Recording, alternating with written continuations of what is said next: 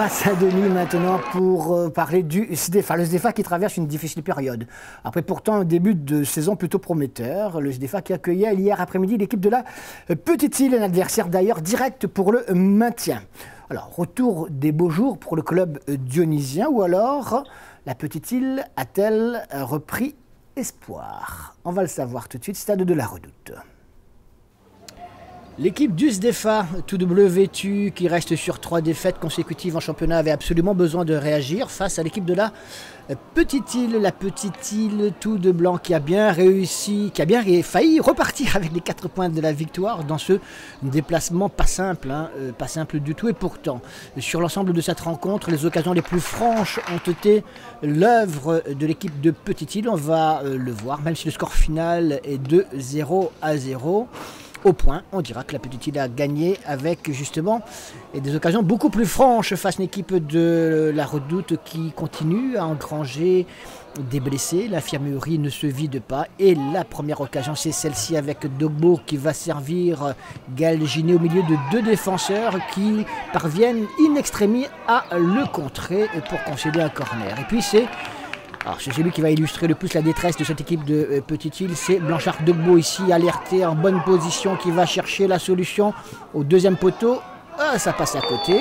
La deuxième occasion franche, il y aura encore euh, deux autres comme cela. Blanchard Degbo, donc, qui ne réussit pas du tout à cadrer. Notre balle pour l'équipe de cette, euh, équipe de la Petite Île. Regardez, encore Degbo démarqué sur la droite par Gaël Cette fois, il va frapper, il rate totalement la cible le SDFA s'organise, essaie de mettre le nez à la fenêtre avec là une occasion qui va obliger Michael Tsenton, le gardien de la petite île, à dégager en corner. Ce sera pratiquement tout pour l'équipe du SDFA.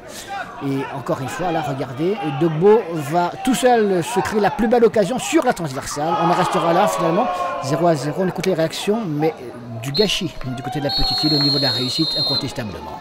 Oui, je trouve que sur l'ensemble de la rencontre, on méritait quand même une, victoire.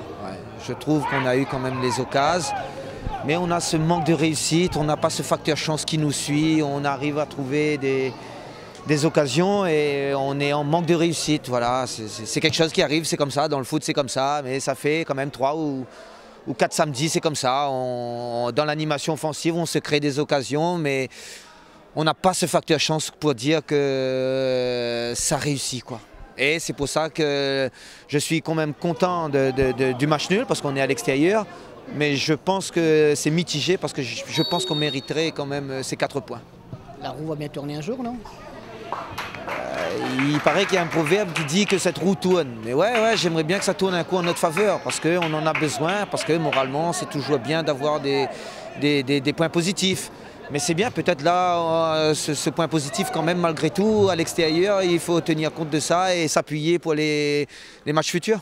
On sort de trois défaites consécutives en championnat, on a pris pas mal de buts ces derniers temps. Et, aujourd'hui, c'était d'arrêter un petit peu l'hémorragie, de repartir sur un résultat positif. Et on est tombé devant une très belle équipe de, la Petite Île. Et même s'ils ont eu des occasions, euh, euh, de, deux ou trois occasions en premier mi-temps, on a su gérer en deuxième mi-temps et, le score nul, pour moi, c'est mérité. Avec à nouveau des blessés? À nouveau des blessés. Jean Boulard, il a senti une petite pointe, donc euh, on a préféré euh, le faire sortir. Et puis après, Gilles Bataille aussi, il est en manque de compétition.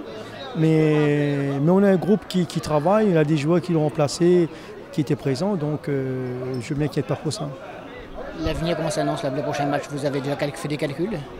Il euh, n'y a, pas de calcul, on partira, on partira à la Capricorne pour, euh, essayer de ramener deux points parce que c'est difficile de jouer là-bas. En plus que ça, ils sont renforcés, c'est une très belle équipe.